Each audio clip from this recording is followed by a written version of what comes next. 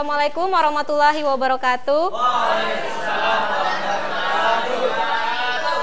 Selamat pagi anak-anak. Gimana kabarnya hari ini? Ya, sebelum kita memulai pelajaran, marilah kita bersama-sama mengucapkan basmalah terlebih dahulu. Dan dilanjutkan doa sebelum belajar dan setelah itu kita akan membaca Al-Qur'an surah Al-Baqarah ayat 183. Ayo ada yang eh bawa Al-Qur'an semua kan? Ayo. Doanya dipimpin oleh Mas Rohim. Silahkan. Sebelum kita masuk pelajaran, kita mulai dengan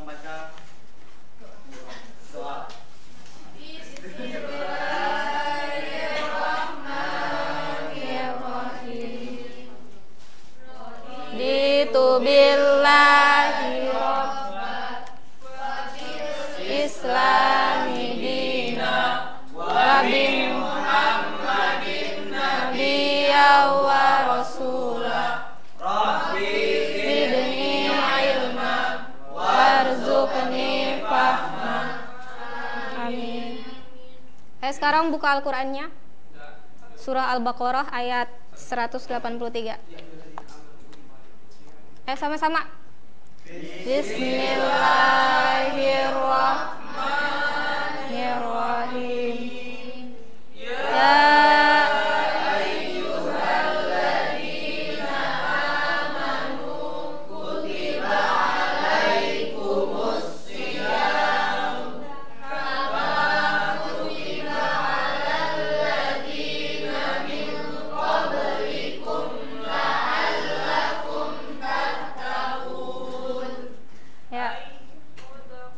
sa ya. Tolong sauda eh Mas Ramli bacain artinya. Ayo, ayo. A- Artinya, hai orang-orang beriman diwajibkan atas kamu berpuasa sebagaimana diwajibkan atas orang-orang sebelum kamu agar kamu bertakwa. Surah. Ya, ada yang tahu kita belajar apa hari ini dari Puasa, ya. Sebelum masuk materi, Bu absen dulu ya. Kahar, Hadir, Bu. Rina, Matkuah, Kuku, Siska, Nur Ais, Asfi, Adelia, sakit. Ada suratnya nggak? Gilang. Cuman Adelia ya yang sakit. Siapa lagi? Eva. Nanti setelah pulang sekolah kita jenguk bareng-bareng ya. Sebelum masuk materi, kita sama-sama nonton video dulu ya. Nanti dari eh, salah satu dari kalian akan ibu tunjuk untuk menjelaskan apa manfaat puasa itu sendiri. Perhatikan ya semuanya.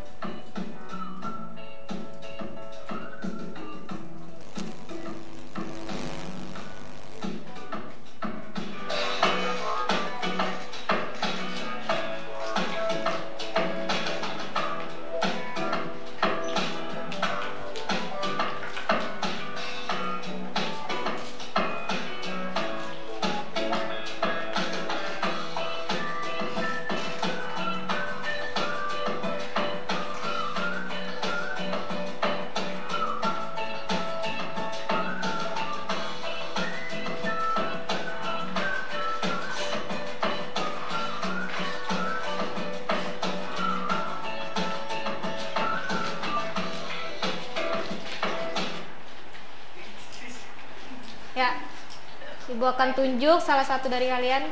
Coba tolong Mbak Kuku, jelasin apa aja manfaat dari puasa tadi. manfaatnya apa mengontrol berat badan Ya, terus otak benar sekali. eh, menurunkan kolesterol Ya, terus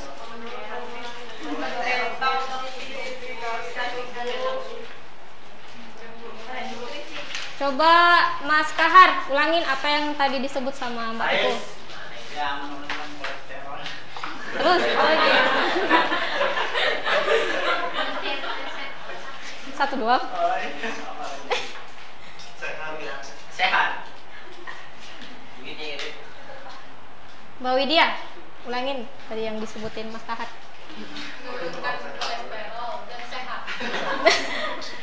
ya benar semua ya. Jadi manfaat puasa itu untuk Kesehatan. ya benar menurunkan berat badan, menurunkan Kolesterol. membuat sehat. Ya benar. Nah, di sini dijelaskan bahwa pengertian puasa sendiri itu dilaksanakan selama bulan Ramadan. Eh, ini wajib bagi setiap muslim yang sudah balik. Kalian sudah balik Belum. Kelas 11 Ya, ya. dan merupakan salah satu rukun Islam. Eh, rukun Islam ada berapa semuanya? Masih pada ingat nggak? Lima. Eh, coba sebutkan bareng-bareng apa aja. Satu. Bareng-bareng.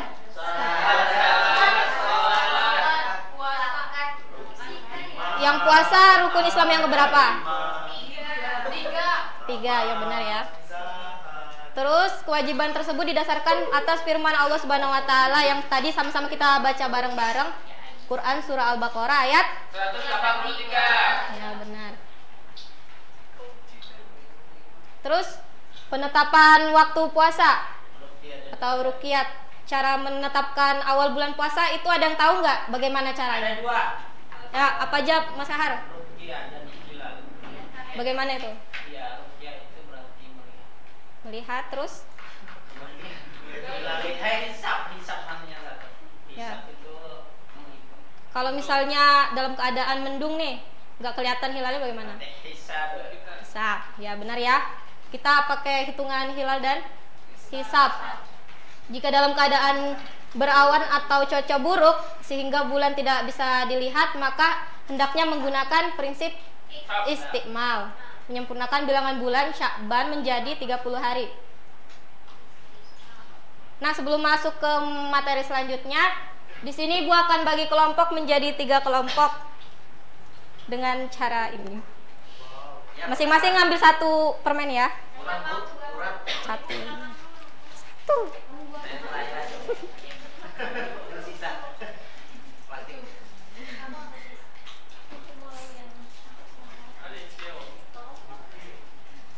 Mulai mulai kan puasa bu.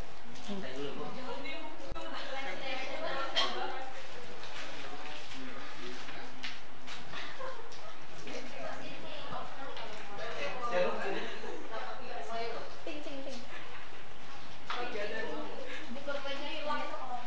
Permen apa?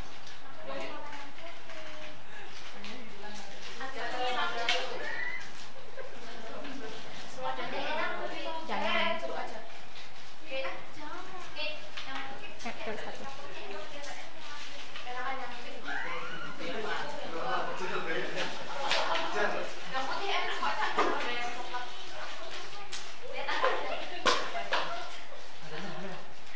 Pink merah. Dua banget. Hmm, sudah. Ya, semuanya udah pada dapat permen semua ya. Sekarang yang bagian jeruk di sebelah kiri Ibu, anggur di depan Ibu, stroberi di samping kanan Ibu. Ayo,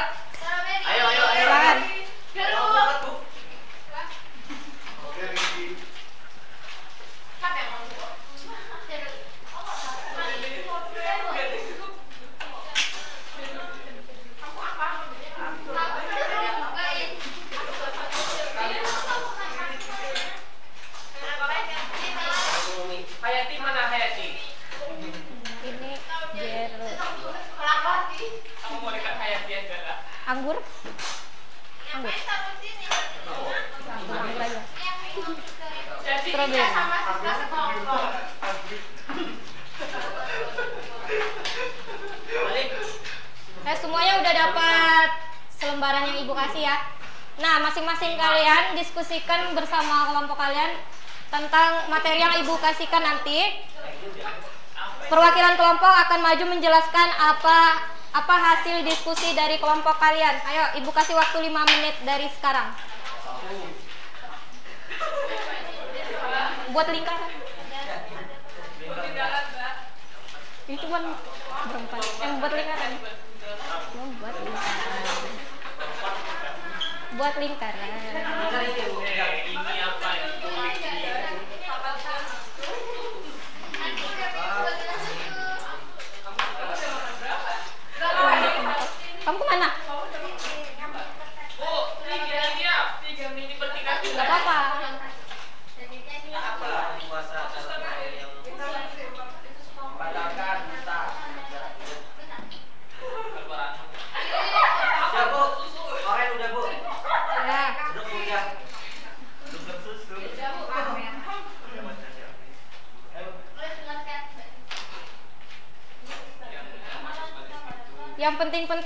ditulis ya. Nanti ya, ditulis di buku, di buku masing-masing.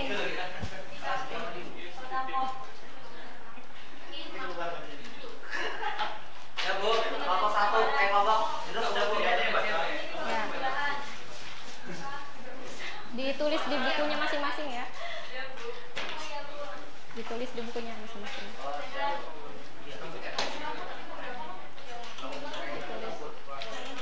Sudah semua? Sudah, Bu. Siapa yang mau duluan maju? Kelompok siapa? Ini, Bu. Ini, Bu. Aku,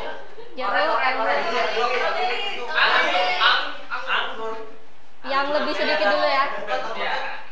silakan kelompok anggur. Kelompok yang lain mendengarkan sambil dicatat ya. Dengarin Nanti ada pertanyaan. Dengarin dengarin. Bacakan dan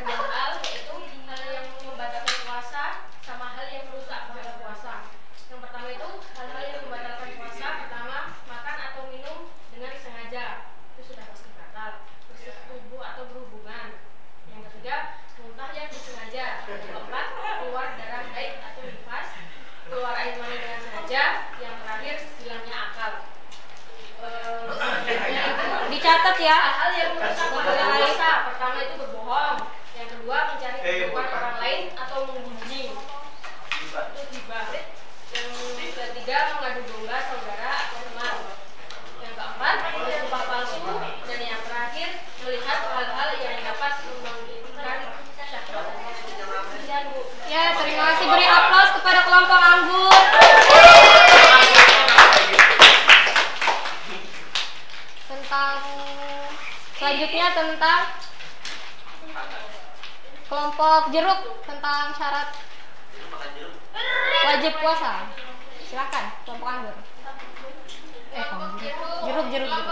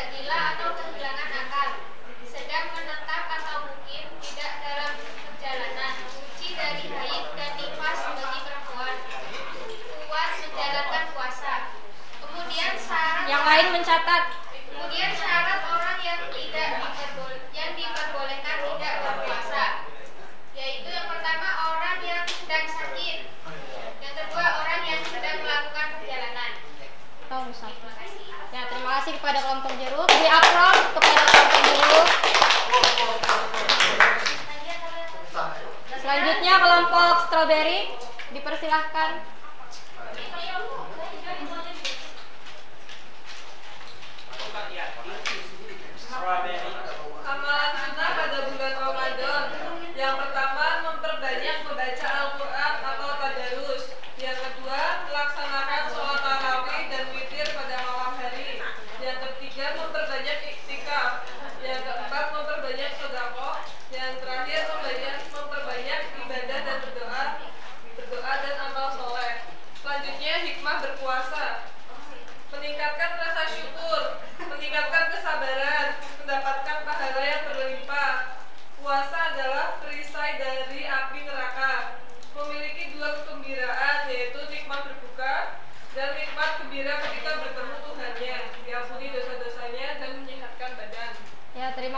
kelompok strawberry beri aplaus kepada kelompok strawberry. Tadi yang kelompok anggun membahas tentang apa aja masih ada yang ingat? Ya. Tentang pasal Membatalkan puasa. puasa. Orang yang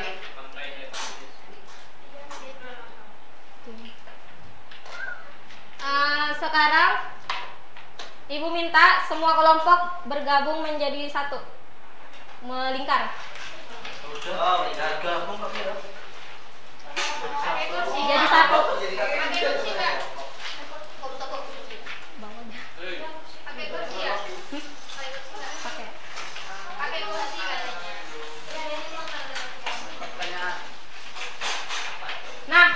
Masing-masing kelompok udah ibu bagi selembaran kertas.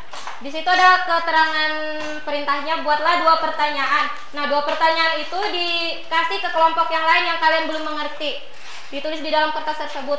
Nanti kalau sudah di ubuk-ubuk dibuat jadi bola. Ayo, mulai. Ayo, ayo, ayo. Makan terus kamu di situ. Ayo dok.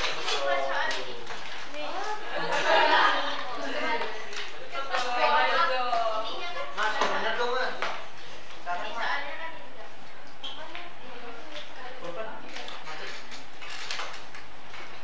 Saya kuat.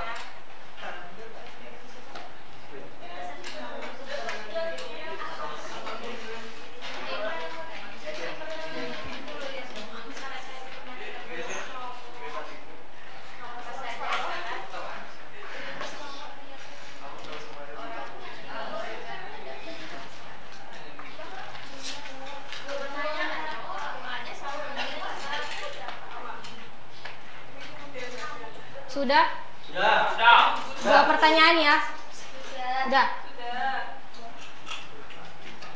Buat lingkaran ini masih belum lingkar. Lingkaran. Melingkar, melingkar.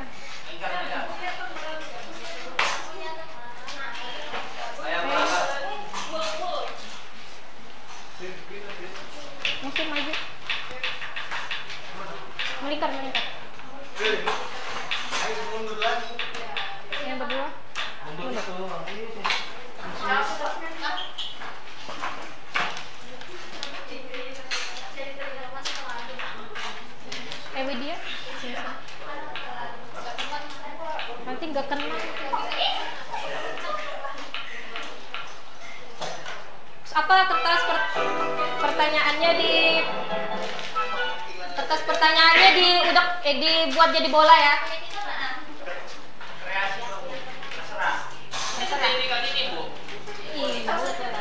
biar enak.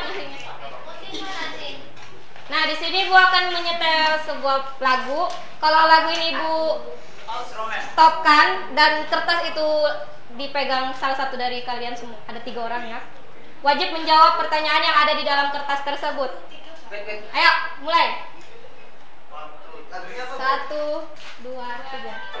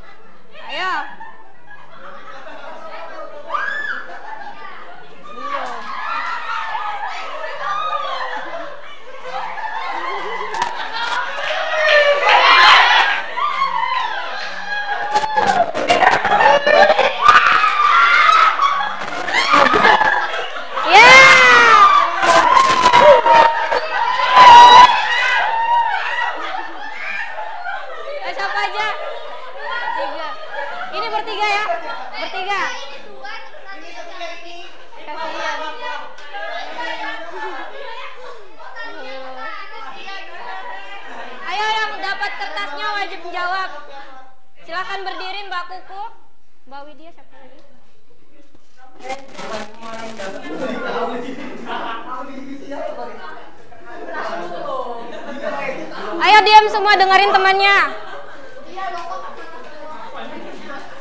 Ayo silahkan Mbak Kuku. Eh, kenapa harus berpuasa? Karena kita sebagai umat Islam harus eh, menjalankan eh wajib menjalankan puasa. Eh, kamu kamu kamu dan aku puasa tidak hari ini.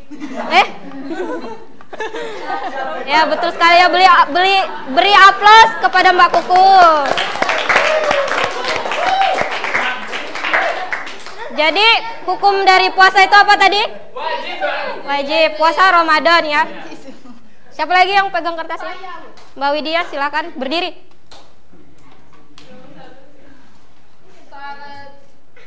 Apa saja syarat orang bertugas diperbolehkan puasa? Yang pertama ada orang yang sedang sakit, terus orang yang sedang melakukan perjalanan. Dan yang kedua ada sebutkan syarat wajib puasa. Sudah balik, berakal sehat, sedang menetap, suci dari haid dan nifas, kuat menjalankan puasa. Ya betul. Benar sekali. Gak apa-apa. Syarat wajib puasa apa aja tadi yang disebutkan? Balik. Ya. Ya betul semua ya. Selanjutnya siapa yang pegang itu? Ya silahkan Mas Ramli. Ketika pertanyaannya ketika berpuasa makan apa yang disunahkan? Ya, apa aja? Kemudian sebutkan dua amalan sunnah di bulan Ramadan. Banyak sedekah, kemudian melakukan sholatul lail seperti sholat tarawih dan. Ya betul sekali beri aplaus kepada Mas Ramli. Tadi apa saja amalan sunnah dalam bulan puasa? Baca Quran. Ya terus, terus Main. main. Apalagi makanan yang disunahkan. Makanan yang disunahkan apa aja tadi? Makanan yang manis-manis. Ya, betul semua ya. Nah, selain puasa Ramadan, ada juga yang dinamakan puasa kafarat sama nazar. Nah, dua puasa ini juga wajib ya selain bulan selain puasa Ramadan. Nah, cukup sekian yang dapat Ibu sampaikan hari ini. Nanti minggu depan kalian masing-masing menghafal surah Al-Baqarah ayat 183 yang tadi ya. Sama artinya nanti di-storin kepada Ibu. Nanti Ibu akan nilai. Ya cukup sekian, Ibu ucapkan terima kasih. Uh, akhir kata, Assalamualaikum warahmatullahi wabarakatuh.